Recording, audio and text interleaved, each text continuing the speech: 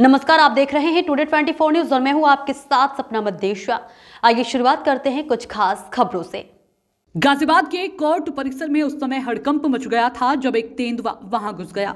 तेंदुए ने कोर्ट परिसर के अंदर मौजूद कई लोगों पर हमला करते हुए उन्हें लहूलुहान कर दिया। जिसके बाद तेंदुए के हमले से घायल हुए लोगों को उपचार के लिए जिला संयुक्त अस्पताल में भर्ती कराया गया, जिनमें अधिवक्ता, मोचीवादी और प्रतिवादी आदि शामिल है। वहीं कोर्ट परिसर में मौजूद तेंदुए की सूचना मिलते ही पुलिस और वन विभाग की टीम मौके पर पहुँच गई और उन्होंने तेंदुए को पकड़ने के प्रयास शुरू कर दिए थे।